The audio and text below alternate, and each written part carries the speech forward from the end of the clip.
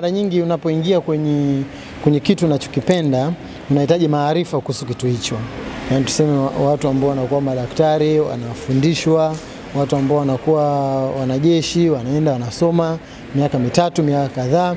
Hasa sisi tulipoamua uh, kwa dhati kuingia kwenye, kwenye hii huduma ya, ya, ya, ya kuwa na uongozi wa kiroho wa kuwasaidia watu especially kwenye kiimani, lakini pia kuwatumikia watu wa Tanzania kujenga jamii iliyo bora, tuliamua pia tuitafutie elimu yake. Kwa hiyo ingawa hatukuwa tunasema sana, kwa hivyo ndio maana watu wengi sana walikuwa sasa, ah, wewe unakuwa umesomea wapi? Imekuwaje umesoma? Umeingilia wapi? Na, lakini sisi toka mwaka jana E, toka mwaka jana kwenye mwezi wa sita hivi nyuma kidogo tulikuwa tumeshaanza uh, darasa tulikuwa na mawasiliano mazuri na mheshimiwa mkuu wetu wa chuo uh, Dr. Lukindo na kumwelezea na chuo kinaitwa uh, Shalom eh, Shalom Bible College eh, Shalom Bible College tulikuwa tumeshaanza masomo pale, kipo uh, kwa campus ya Kawe Yes, lakini kipo chini ya kanisa moja la CLC. So tumesoma vizuri, tumefuatilia masomo yote, tunafanya mitihani, tunapeleka na angalia uh, tujibu na mara nyingi kwa sababu sisi shughuli zetu nyingi tulikuwa nafanya mara nyingi online. Kwa hiyo unaenda unachukua una unapata masomo uh, kuna kipindi ambacho mnaenda mnakaa mnaangalia kwa pamoja na saisha na vitu vingine kama hivyo.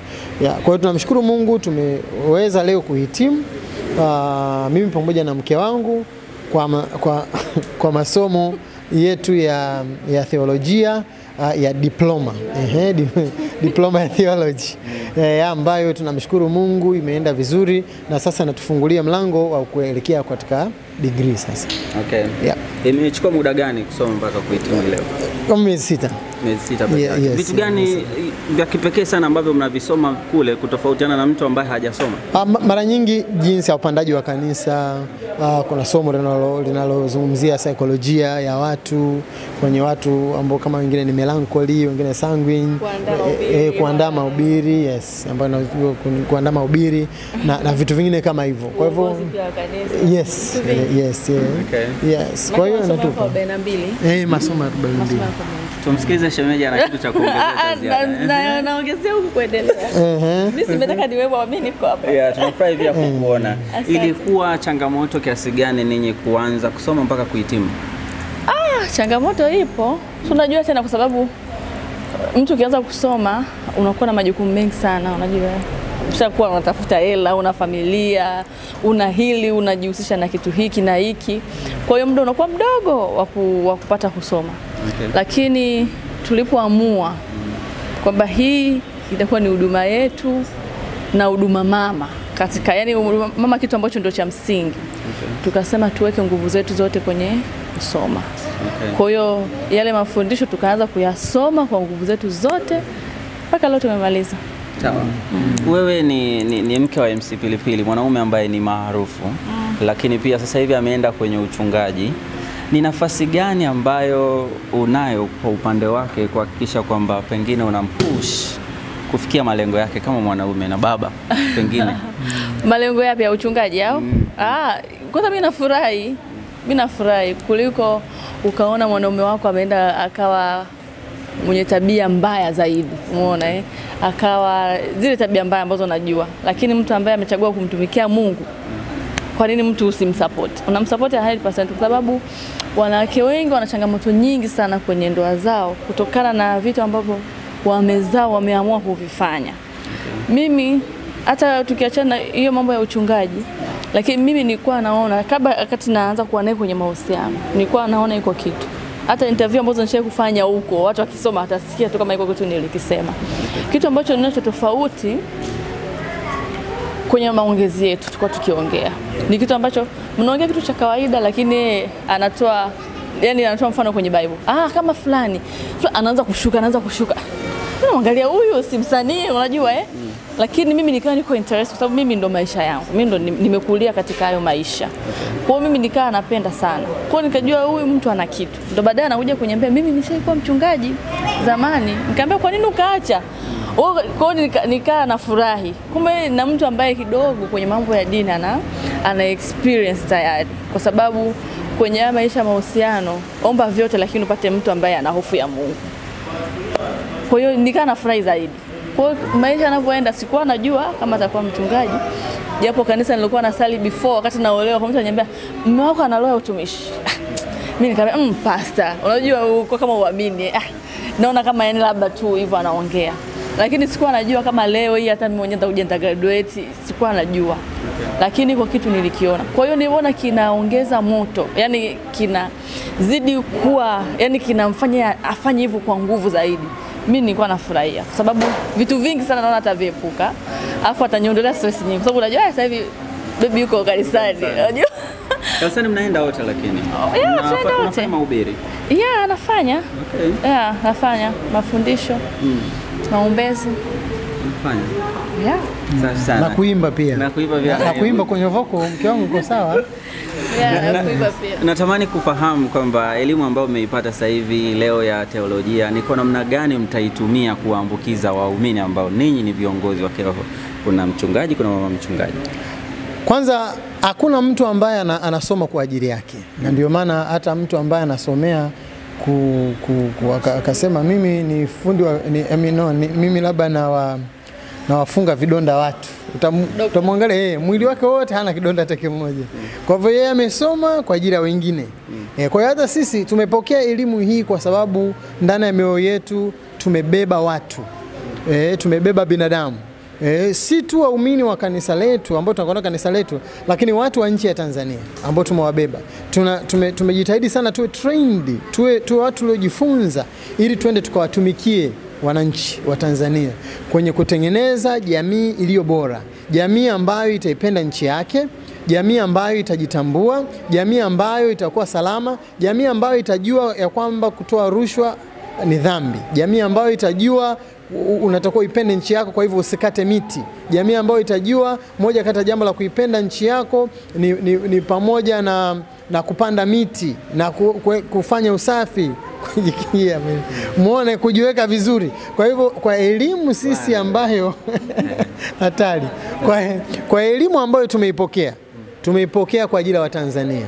Okay. Sisi elimu tulionayo hii hatuendi ku- ku- kulala nayo kwenda kuiweka chini, lakini tunatamani ya kwamba, na ndio maana tunajitahidi tuipate. Kama hivi sasa hivi tumemaliza diploma ya theolojia, tunaingia katika degree, umeona, moja kwa moja. Na chuo chetu hichi cha Shalom uh, Bible College ni chuo ambacho kina ushirikiano na chuo cha Grace International uh, uh, uh, Inter International University cha Liberia umeona ambayo sasa hao watakuja kutusimamia kuanzia kwenye, kwenye degree na baadaye kwenye masters.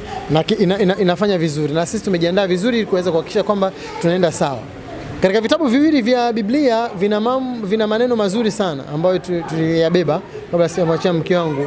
Katika Mwanzo 14 14 Abraham, Biblia inaeleza kuhusu Abraham jinsi alivyowatuma watu. Yani E, a- yeye alikuwa na watu wake, wakatokea mateka, wakawateka wale watu, wakakimbia nao. Sasa Biblia inasema ya kwamba Abrahamu akatuma watu aliowafundisha. Umeona, ukiangalia katika Mwanzo 14 14 ukiangalia Biblia ya Kiswahili kuna neno moja linaweza kukosekana, lakini lipo kwenye Biblia ya Kiingereza linasema trained servant, that the people ambao wanaenda wako trained. Kwa na sisi kwa sababu tumeitwa na Mungu twende tukawatoe wengine katika vifungu walivyo navyo. Ndio maana kwanza tume, tume, tumekubali kuwa trend, tumekubali tuwe chini tupate maarifa, tukawatoe watu katika mateka ya uvivu, mateka ya magonjwa, mateka ya umasikini, mateka ya kupenda rushwa, ma, mateka ya kuchukia nchi, nchi yao na vitu vingine kama hivyo. Tumejitoa na tumejiweka vizuri sana, lakini katika Kutoka 14 14 inasema Bwana atawapigania nanyi mtanyamaza kimya. Sasa hiyo mke wangu ataelezea vizuri hiyo Bwana Kutoka atawapigania? 14 14 inasema Bwana atawapigania nanyi mtanyamaza kimya Karibu hmm? shemeji. Bwana atapigania nanyi mtanyamaza. kimya. Elezea. Ah. Hiyo mbona hiyo jabari rahisi sana. Hiyo bwana atapigana nanyi na watanyamaza kimya. Mungu anapigana na sisi hata kwa siri. Kwa saa nyingine tunakuwa hatutambui. Kwa hiyo kila mtu anatakiwa atambue kwanza unapendwa na Mungu. Na kila mtu ni mtoto wa Mungu. Na Mungu anavyotupigania sometimes tunavyotembea, unajua hata kuongea hapa nikaweza kusimama hapa au nikafika tu siku ya leo Mungu amenipigania kwa sababu kuna vitu vingi sana vinakuwepo kwenye njia, nyumbani, vitu vingi ambavyo vingeweza kunifanya mimi nisiweze kuatendi siku au nisiweze kufanikisha pia masomo. Kwa nipende kuwatia moyo watu, Mungu anatupigania kila siku. Hakuna siku ambayo ukasema leo mbona yuko hivi. Kwa hata sometimes unapo unapojisikia mnyonge, unapojisikia kwamba uko down, jua tu Mungu yupo na Mungu anakupigania wewe kila siku. Ndio maana Biblia inasema pia ana, Mungu anayajua mawazo yetu sisi, anatuwazia mawazo nini mema mawazo ya amani na wala sio mabaya. Kwa hiyo unapopita changamoto, unapokuwa na shida, unaona jambo hili likakwaza, ukahisi uko down, basi jua Mungu ananiazia mema, Mungu ananipigania. Ukiwa nayo maneno yanakufanya unakuwa jasiri katika kila changamoto unakutana nayo na katika kila shida unaokuwa nayo. Mi na mawili ya mwisho. Uh, upande wa shemeji, kanisa linaendeleaje na mnaona mtafikia malengo kwa maana ya sio kibiashara, lakini lile lengo lenu la kuinjilisha kupitia kanisa lenu, mm. kanisa la Mungu kupitia ninyi, sio mm. tutafikia malengo? ya malengo tutafikia kwa sababu hatufanyi sisi, Mungu ndo anayetusaidia.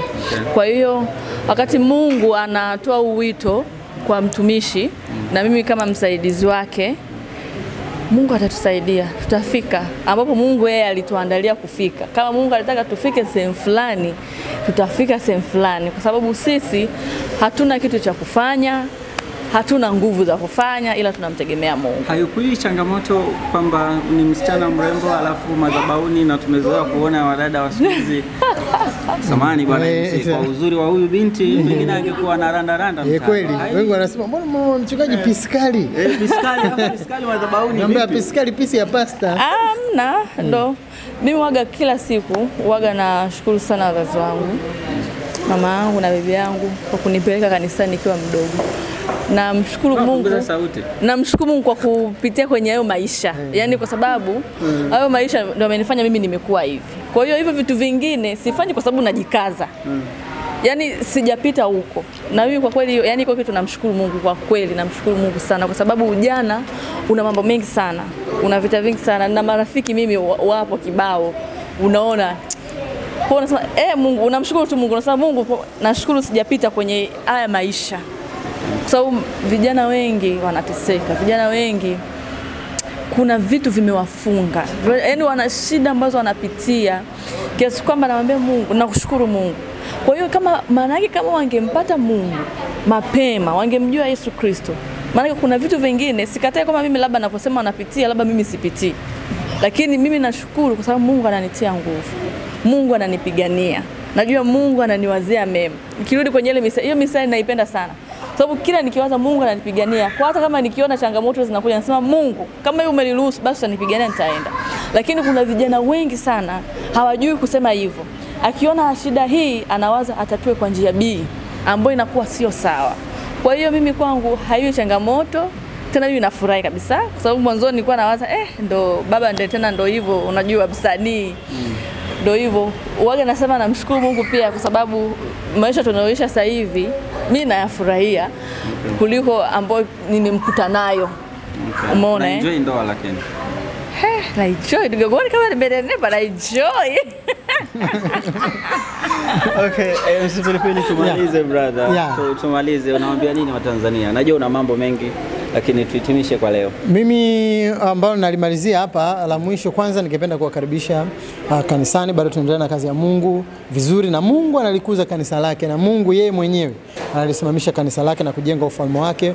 Tupo tuna eneo jipya ambalo tumehamia pale Suma JKT Mwenge, Suma JKT mkabara na Efata pale. Ukifika Umoja Hall kwa nyuma kule utaona ngazi na kupandisha mpaka lipo kanisa letu, kila Jumapili kuanzia saa nane mchana na kuendelea, na kila Jumanne kuanzia saa kumi na moja na kila Alhamisi kuanzia saa kumi na moja. Lakini jingine zuri ambalo limetufurahisha na siku ya leo, ningependa sana kwa sababu Uh, tunajua ya kwamba si kwa nguvu zake ila ni Mungu mwenyewe, ni Mheshimiwa Rais wetu mama yetu Samia Suluhu Hassan kutimiza mwaka mmoja, na tunajua ni moja kati ya vitu ambavyo ukiangalia unasema ni Mungu, kwa sababu kwanza amekuwa ni rais wa kwanza wa kike, lakini uh, uh, uh, rais wa kwanza mwanamke, lakini rais wa kwanza mwanamke huyo ameipokea nchi ikiwa ipo kwenye huzuni, lakini akatuvusha akatembea na sisi, na mimi ningependa hapa kabla hatujamaliza tuweze kumwombea mama yetu uh, kwanza kumshukuru Mungu kwa ajili ya mwaka mmoja, lakini pia kumwombea Mungu aendelee kumwongezea hekima na aendelee